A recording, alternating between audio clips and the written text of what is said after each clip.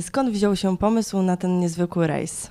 Mm, Pomysł wziął się nam no, z pływania i e, po Bałtyku i tak wymyślili, wpadła nam wtedy ta trasa z Bornholmu, e, po czym jakby za pierwszym razem spróbowaliśmy tą trasę pokonać latem, a kiedy latem może tak do końca nam się to nie udało, to padło postanowienie, żeby zrobić to zimą. A latem czemu się nie udało? To wynikało z przyczyn jakichś atmosferycznych, technicznych? E, To znaczy no, zestawienie dwóch naszych, to znaczy jednego naszego błędu, e, dwóch błędów. To znaczy pierwszy to jest taki, że nie zdążyliśmy przymocować sobie mapy e, na kajak i nam ją zmyło, a w nałożeniu jeszcze z przesunięciem koordynatu w GPS-ie dojechaliśmy po prostu nie do końca do Kołobrzegu, tylko w, okolice Kołobrzegu i, i stąd to się wzięło. Jak wyglądają przygotowania do takiej wyprawy? E, Różnie, to znaczy każdy z nas tam indywidualnie się przygotowuje. E, Chłopacy no, mają bliżej do morza, więc korzystają z tego i pływają po morzu i trenują e, pływając po morzu. A ogólnie e, pływanie cały rok, czyli to daje jakąś tam, zachowuje wydolność organizmu e, i taką ogólną sprawność i, i kondycję. A przed samym wypłynięciem, no to jest, y, ja osobiście lubię i preferuję ćwiczenia siłowe, no i do tego dieta. A dieta jak wygląda? E, No dieta no, wygląda tak, żeby przede wszystkim uważać na zbędne kalorie, to znaczy na puste kalorie. Czyli unikać alkoholu, e, słodyczy, no to są dwa takie elementy. A e, na kajaku też pan pływa tutaj w Bydgoszczy? E, Tak, to znaczy jakby jest siłownia plus, e, plus tutaj trening na rzece na Brydzie. Od Brdujścia w górę rzeki i z powrotem. A skąd się wzięła u pana pasja właśnie kajakarstwo? No jakoś tak przyciągnęła mnie woda, po części według nazwiska, a po części według przygody. E, Zasmakowałem tego, to jest, e, to jest inny klimat. To jest dla tych wszystkich, którzy byli chociażby na jednym spływie, to e, kajakowym, to będą wiedzieli o czym mówię, o czym jest mowa. Mianowicie no jest to zupełnie inny ogląd świata z pozycji płynącego kajaka w stosunku do jakiegośkolwiek innego środka transportu, czy nawet spaceru na własnych nogach. Kiedy już postanowiliście, że płyniecie w ten niezwykły rejs, jakby jak wyglądały takie techniczne przygotowania? Co trzeba było ze sobą wziąć, o czym trzeba było pamiętać? To znaczy tak, to mm, taki rejs, takie wypłynięcie y, to jest efekt, y, to jest też, y, składa się zbieranie doświadczeń z innych spływów, spływów zimowych właśnie, kilkudniowych, gdzie jest ekwipunek, gdzie sprawdza się ten sprzęt, y, na ile on się przydaje, w jakich okolicznościach on się przydaje, w jakich warunkach temperaturowych, pogodowych on się sprawdza, w jakich nie. I zbieranie tego typu takich nawet małych e, doświadczeń e, przekłada się potem już na, na wynik końcowy właśnie takiego płynięcia. Czyli zbieramy doświadczenia, kumulujemy ten sprzęt, który nam się sprawdził i wtedy go i wtedy zabieramy to. A co trzeba wziąć do kajaku? Jakie e, rzeczy, takie mm, codziennego użytku po prostu? Czy w ogóle na coś jest czas, żeby coś tam zrobić? Nie wiem, umyć zęby chociażby. Nie, nie, nie, to, to, to już nie. E, Natomiast no, trzeba e, się zaopatrzyć przede wszystkim w płyny i, i wartości odżywcze, czy w płynie, czy, czy w formie stałej, żeby organizm zasilić, bo to jest jednak stały, długotrwały, stały wysiłek, który no, wymaga zaopatrzenia energetycznego, żeby organizm sam się nie spalił. No i co mnie zdziwiło właśnie podczas płynięcia latem, że trzeba o tym pamiętać. To znaczy trzeba faktycznie pamiętać, że nawet wmuszać do siebie, w siebie jedzenie, bo e, organizm nie ujawnia, nie, nie ma głodu, nie daje poczucia głodu ani pragnienia. Po prostu pracuje cały czas i jakby nie, nie daje takich komunikatów, więc trzeba pamiętać o tym, żeby się napić, żeby coś zjeść i tak dalej. Em, to takie pytanie może dyskretne, ale myślę, że bardzo ciekawe. Jak wyglądają, e, wygląda załatwianie potrzeb fizjologicznych w czasie takiego długiego rejsu? Bo to jest przecież 26 godzin i rozumiem, że też trzeba sobie jakoś z tym radzić.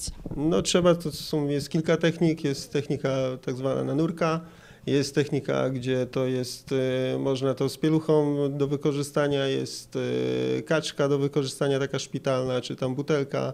To każdy indywidualnie co pasuje, to, to się wykorzystuje, aczkolwiek no, trzeba zawsze przy tej okazji uważać przy wszystkim, co się robi na kajaku na otwartej wodzie, bo no, jest to na ileś niebezpieczne, im wyższa fala, im bardziej niesprzyjające okoliczności, no to trzeba uważać i trzymać i być stratwowanym z drugą jednostką i w odpowiedni sposób wszelkie ruchy wykonywać na tej jednostce, żeby się nie wywrócić.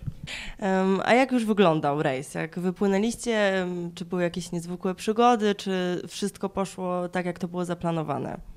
No to znaczy tak, poszło tak jak było zaplanowane, bo nam się to udało, ale no było, przebieg był troszkę inny niż się spodziewaliśmy i na co liczyliśmy. To znaczy przede wszystkim to było okienko pogodowe i na to okienko pogodowe polowaliśmy. Bo to znaczy tak, jest prognoza siedmiodniowa. Według tej prognozy siedmiodniowej już wiedzieliśmy, że będzie, będą to okolice tego weekendu, który minął. E, natomiast e, miało to być, mieliśmy wypłynąć w niedzielę rano. To się przesunęło, że wypłynęliśmy we wtorek rano. No i we wtorek rano o godzinie tam 8.30, kiedy już byliśmy na miejscu na Bornholmie, e, było potwierdzenie pogody takiej, jaką my chcieliśmy i na jaką liczyliśmy, czyli tam dwa w, maksymalnie w porywach e, skala wody 3 e, i wiatr też maksymalnie w porywach e, do 3 skali Beauforta i dobry kierunek, czyli północny, ewentualnie lekko północno-zachodni, więc to idealne warunki, żeby warunkach zimowych po prostu dokonać i, i przepłynąć ten odcinek. Natomiast no, dokładnie w połowie, w połowie rejsu e, kapitan jednostki asekurującej nas e, podał, że e, otrzymał komunikat radiowy, że pogoda się zmienia, stan wody się podnosi, wiatr wzmacnia się i przede wszystkim zmienia kierunek. No i to było główne utrudnienie, bo to o godzinie tam 20, mię- około 20.30, a o 21 mieliśmy dokładnie połowę dystansu już za sobą. Czyli to taka średnia postępowa, pomimo przerw e, robionych w trakcie płynięcia, była przeszło 5 km na godzinę, czyli bardzo dobra. A czy w trakcie wyprawy był taki moment, kiedy pomyślał Pan sobie, że rzeczywiście, że uda się, że to już na pewno e, dopłyniemy? Czy zawsze jest ta, ten cień niepewności, że, że coś może pójść nie tak? To zawsze pozostaje gdzieś w tyle głowy ten cień niepewności i to pozwala być skupionym i skoncentrowanym, nie pozwala się zanadto rozluźnić, żeby nie zrobić jakiegoś głupiego błędu. E, Natomiast no były, musieliśmy szukać takich, takich e, właśnie sytuacji, które by dały nam jakiegoś tam zastrzyku energetycznego, nie tylko wynikającego z jedzenia, ale z, z psychiki. No i to były jakieś tam na widnokręgu światełka, tak, które się pokazywały. To już nam my wyobrażaliśmy sobie, że to już jest chwila, moment i będziemy na brzegu, co się okazało jednak nie do końca tak, bo to jeszcze zajęło nam sporo czasu. E, No i to są takie momenty. Natomiast e, zawsze jest w tyle głowy, co będzie, jeżeli by się coś stało, to jak to by wyglądało. A jaka jest różnica pomiędzy pływaniem w ciemności i w dzień? Mm, No, oczy muszą się przyzwyczaić do ciemności i tutaj e, jakby no najbardziej sprawnie człowiek jest w stanie mm, płynąć i przyjąć tą ciemność, kiedy światło nie jest, e, kiedy światło nie jest zbyt intensywne, tak? To znaczy, bo zbyt intensywne światło e, męczy oczy, bo nie jesteśmy w stanie wygenerować takiego światła, które by oświetliło na tyle przestrzeń, żeby dało nam komfort płynięcia, tak? Ale no, pływanie w nocy to są dwa rodzaje. Albo jest to światło, albo go nie ma. Światło generalnie jest od, e, z księżyca i jeżeli niebo jest bezchmurne, to pływa się po prostu pięknie, bo to są zupełnie inne krajobrazy. Woda i e, księżyc odbity od wody e, daje jasność, lądy są kruczoczarne. E, kiedy jest się w takiej odległości, że widać e, jeszcze jakieś miasto, które jest na tym lądzie, czy inne skupisko ludzi, e, które daje światło, to to wygląda jak jakaś zorza po prostu na widnokręgu. To są no, piękne klimaty. No, natomiast y, pływanie zimą w nocy nie wiąże się, no, to znaczy, nie wiem, bardzo małe prawdopodobieństwo jest, żeby spotkać e, takie okoliczności przyrody zimą w nocy. Dlatego, że w większości jest to jest pochmurno po prostu, strasznie pochmurno, a jak nie ma chmur, to albo są i chmury, i mgła, w związku z tym e, no nie ma możliwości w ogóle cienia chociaż jakiegoś światła księżyca, e, który by dał blask i rozjaśnił, jest po prostu totalnie ciemno. Tak? Czy wracając z takiej wyprawy człowiek e, staje się kimś innym? Czy coś się zmienia? E, no, jest inna perspektywa. To znaczy, te wyprawy są między innymi, czy w ogóle jakieś taka e, pływanie, czy jakakolwiek inna pasja w moim odbiorze jest po to, żeby właśnie to, to życie codzienne e, dodać temu życiu jeszcze trochę smaczku, tak? E, to jest, to jest inne, inny wysiłek, inny rodzaj percepcji, inne spojrzenie. To jest tak trochę na ileś tam takiej samotności długodystansowca, to jest takie spotkanie się z sobą w innym wymiarze. A kto dbał o wasze bezpieczeństwo na morzu? E, wynajęliśmy dzięki uprzejmości tutaj kapitana, znaleźliśmy kapitana, który się zgodził w ogóle na taką wyprawę. I to, był, to jest Krzysztof Chodakowski z jednostki Nurek z koło brzegu, właśnie chłopacy znaleźli, który zgodził się popłynąć z nami, asekurować nas w drodze z Bornholmu do, do koło brzegu. A o, czy myśli się o czymś konkretnym, pływając e, tyle czasu po morzu, czy to po prostu jest taki strumień e, myśli i nie można się skoncentrować na niczym konkretnym, tylko po prostu człowiek dąży do celu? E, to znaczy tak, no to już jest bardzo indywidualna taka, wydaje mi się, od każdego pływającego zależna sprawa i na początku wyruszając to jest ileś tam myśli, które gdzieś się telepie w głowie, a potem człowiek się wycisza i skupia na jednym, czyli na płynięciu i patrzeniu, co się dzieje wokół, po to, żeby dopłynąć. A kto czekał na pana tutaj w Bydgoszczy? Albo tam w, w koło brzegu, do którego płynęliście? No w koło brzegu to nas spotkała, to znaczy tak jak z relacji chłopaków, to, to ich również niespodzianka, że sporo ludzi faktycznie było i czekało na brzegu. Oprócz rodzin najbliższych to, to jeszcze i, i, i jakiś przedstawiciele różnych mediów i, i, i władze miasta, czy tam starostwa koło brzegu, e, koło brzeskiego. E, tutaj jeżeli chodzi o moją rodzinę, to, to zosta, zostali wszyscy w Bydgoszczy. E, no, jakby w, w trakcie rejsu też gdzieś e, stan osobowy rodziny się pomniejszył o, o, o pieska, który już no, po 15-16 latach życia e, przeszedł na wieczną łączkę, że tak powiem. A jakie są plany na przyszłość wasze? E, rozglądamy się za wyprawą na ileś atrakcyjną dla nas, y, albo to będzie jakaś część Bałtyku, e, może to już nie będzie tyle wyczynowa, tylko bardziej e, krajoznawczo-turystyczna, mająca rozpropagować kajakarstwo morskie.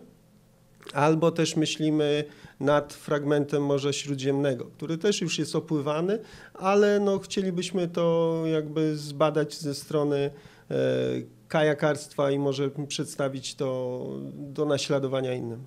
A jak wygląda szukanie funduszy na taką wyprawę? Czy to y, dzięki uprzejmości sponsorów y, możecie odbyć taki rejs? E, tak, to znaczy przede wszystkim tutaj jest e, dobra komunikacja i współpraca i za to jesteśmy wdzięczni e, firmie Aquarius z Żukowa, producentowi kajaków, który jest no tutaj wiodącym producentem sprzętu kajakowego i eksporterem e, na różne kraje, w dużej mierze również na Skandynawię, także tutaj e, na, na tym sprzęcie śmiało Skandynawowie mogą też do nas płynąć w ślad za nami jak najbardziej, polecamy, ale też i dla nas tutaj e, możliwość pływania po Morzu Bałtyckim wzdłuż wybrzeży dla pozostałych kajakarzy to się otwiera jak najbardziej. Ciemność i zimno to nabrało e, dla mnie nowego trochę wymiaru. Te dwa słowa nabrały nieco innego znaczenia. E, ciemno, bo faktycznie było tak ciemno, że to nie sposób dojrzeć nic, aż e, do tego stopnia, że w którymś momencie ja widziałem coś więcej niż by było na horyzoncie, niż, niż faktycznie było na horyzoncie widoczne. E, bo widoczny był tylko e, światełka pozycyjne e, jednostki asekurującej, a ja już widziałem jakieś tam krajobrazy powiedzmy, natomiast też zimno, zimno potęgowane przez wiatr. Wiatr, który zmienił swój kierunek i był zachodnio-południowym, zachodni, zachodnio-południowy, czyli dawał, dawał w twarz, dawał centralnie w twarz i dosyć e, dużą prędkością, w związku z tym chłód e, potęgował. Stąd też e, przystanki, jakby przerwy e, w płynięciu nie mogły być zbyt długie, bo e, no, wychładzały po prostu organizm, a jednocześnie stan wody nie pozwalał na to, żeby mm, zmienić okrycie, dodać coś, założyć w cudzysłowie dodatkowy polar czy sweterek. Nie, nie było takiej możliwości, bo było to zbyt niebezpieczne na tej fali, żeby e, móc takiego czegoś, e, takie coś dokonać. Także no, to powodowało, że trzeba było płynąć. Chcący, niechcący po prostu trzeba było płynąć, bo było zimno. Także to też taki element dodatkowy. Mm, No i, e, no i skupienie. To właśnie przez zmianę warunków pogodowych to wymagało skupienia, bo nie było do końca, no nie było widać nic, było bardziej słychać, że coś złowieszczego gwizdże, gdzieś fala idzie, jest szum, szum grzebieni na fali, które mogą trafić i albo trafią, albo dojdą do kajaka i trafią go z, który, z przodu, z boku, z tyłu, nie wiadomo skąd, bo tylko słychać, nic nie widać. Także to wymagało przede wszystkim skupienia, a przez to, że ta noc była długa, bo ciemno się zrobiło po godzinie, chwilę po godzinie 16, a świtać na tyle, żeby oczy y, zobaczyły coś więcej, zaczęło około godziny 8, nawet tam no, równo jak ósma wybiła. W związku z tym przez większość rejsu było po prostu ciemno.